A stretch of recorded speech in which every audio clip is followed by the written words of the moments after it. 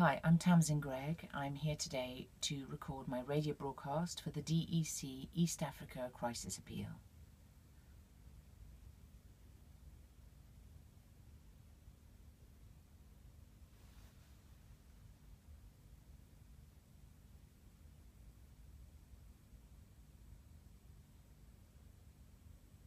So don't delay.